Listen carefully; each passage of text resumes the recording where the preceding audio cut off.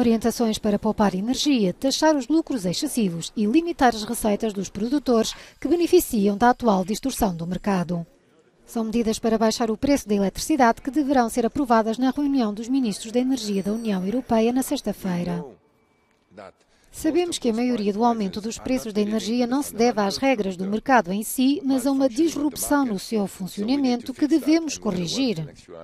Vamos trabalhar para encontrar a forma certa de o fazer.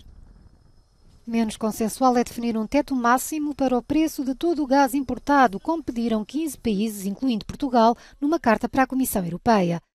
Nela pode ler-se que o teto máximo para o preço é a única medida que ajudará cada Estado-membro a mitigar a pressão inflacionista e limitar os lucros extra do setor. O Executivo Europeu, bem como a Alemanha, maior economia da União, não apoiam esta ideia, argumentando que assustará os fornecedores e poderá ter impactos negativos no abastecimento europeu. A Comissária Europeia para a Energia, Kadri Simpson, sugeriu atuar apenas no interior do mercado único, ao introduzir um limite ao preço do gás para a produção de eletricidade.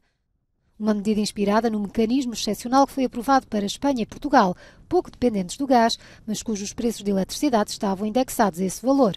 Voltando às três medidas de emergência na agenda dos ministros, estarão limitar o preço de venda da eletricidade a 180 euros megawatt-hora para os produtores de energia que usam apenas o nuclear ou fontes renováveis. Criar uma contribuição solidária de 33% sobre os lucros excessivos dos produtores de eletricidade que usam gás e outros combustíveis fósseis. Por fim, reduzir o consumo de eletricidade, nomeadamente em 5% nas horas de pico.